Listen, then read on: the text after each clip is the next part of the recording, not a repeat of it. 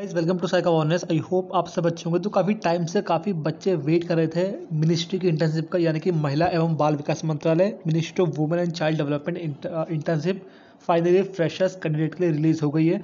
पूरे one year के बाद इंटर्नशिप आई है तो कंप्लीट डिटेल देख लो। लास्ट डेट बहुत करीब है। आपको ईमेल के थ्रू अप्लाई करना है ये काफ़ी अच्छी बात है। और सिलेक्शन प्रोसेस क्या होगा उसके बाद कर लेते हैं। स्टाइपेंड मिलेगा। साथ में आपको रहने के लिए हॉस्टल फैसिलिटी भी दी जाएगी। तो इसी बात से हॉस्टल फैसिलिटी ऐड की है। इससे पहले नहीं थी। तो बात करते हैं वैसे आपकी कितनी कितनी पोस्ट है इसमें। तो आपकी ये इंटर्नशिप यहाँ पर सबसे दे रखा है इन्होंने।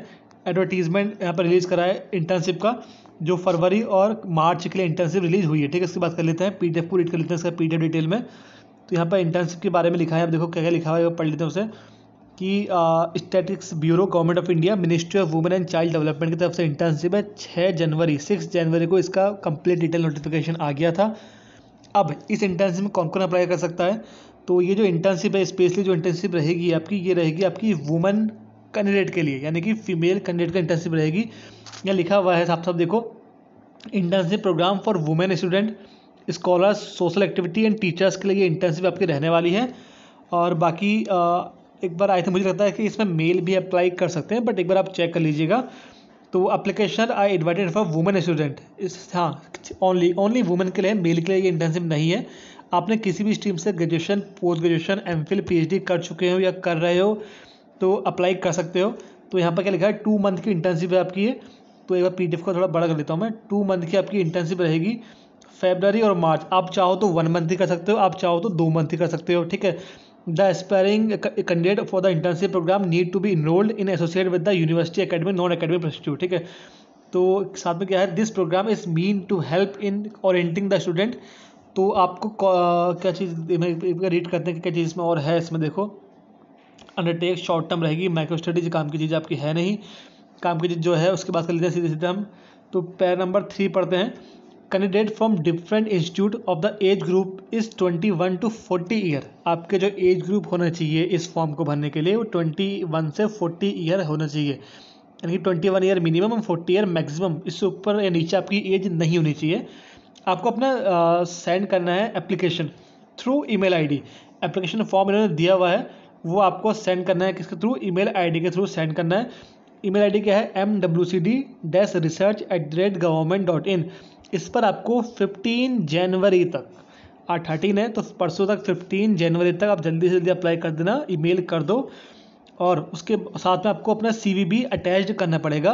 The last date of receiving application of internship is fifty Jan पंद्रह जनवरी लास्ट डेट है फॉर बोथ वन मंथ यानी कि फेबररी और both two month February March आप चाहो तो किसी भी दो, एक मंथ कर सकते हो, चाहो तो दो मंथ कर सकते हो, ठीक है?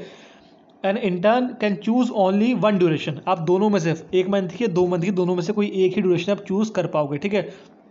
और क्या है इसमें देखो सिलेक्शन कैसे होगा? Selection for the interns would be made on the basis of recommendation of the selection committee आपका जो डॉक्यूमेंट्स होंगे परसेंटेज होगी, जो भी क्राइटेरिया होगा क्वालिफिकेशन होगी, उसके बेसिस पर रिकमेंडेशन जाएँगे और कमेटी आपको शॉर्ट लिस्टेड करेगी। कोई भी इंटरव्यू रिटर्न एग्ज़ाम आपका नहीं होने वाला है। एक शॉर्ट लिस्ट मेरिट लगेगी। A candidate once selected for the internship programme shall not be eligible for applying again एक बार कर लोगे लाइफ में दोबारा इंटर्नशिप नहीं कर सकते, ये वाली आप, ठीक है? तो आपको क्या मिलेगा? सेलेक्टेड जो बच्चे सेलेक्ट होंगे selected intern would be granted a lump sum stipend of twenty thousand ठीक है? आपको लम सम यानी ज़्यादा हो सकते हैं, कम भी हो सकते हैं, ट्वेंटी थाउज़ेंड रुपये आपको दिया जाएगा। एंड साथ में रीइम्बर्समेंट ऑफ़ ट्रेवल कॉस्ट आपको टी ए भी मिलेगा। साथ में आपको A C bus third tier A C train का टिकट मिलेगा यहाँ आने के लिए ऑफ़ द जर्नी ठीक है? तो ज्वाइनिंग प्रोग्राम ज्वाइन करने के लिए, आपको प्रोग्राम ज्वाइनिंग करने के लिए आपको टिकट बस ए सी बस सब मिलेगा, ठीक है?